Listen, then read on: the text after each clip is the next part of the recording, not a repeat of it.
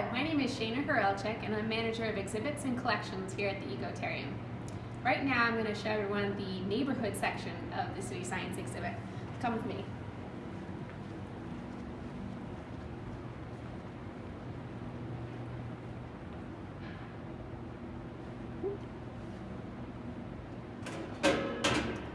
So this is a pretty fun component. At this uh, exhibit there's two different stations. The first station you get the chance to design your own neighborhood.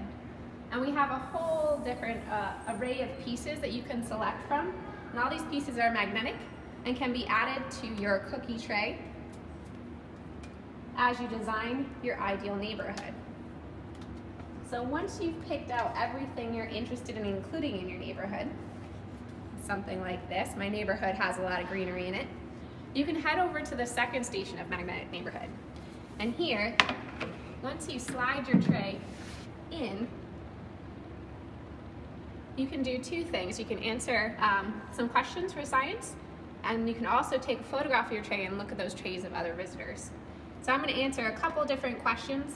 So what did I, what kind of neighborhood did I live in? I built a country neighborhood. Um, my age. and then it, um, it's going to ask you a little bit about what different exhibits you visited while you were here at the Ecotarium.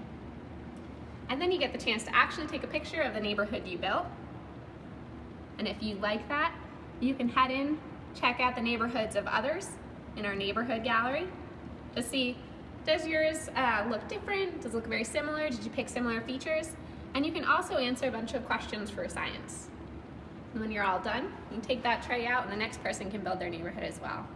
So it's a really fun activity and it's just one of the many components you can play with here at the Ecotarium City Science exhibit.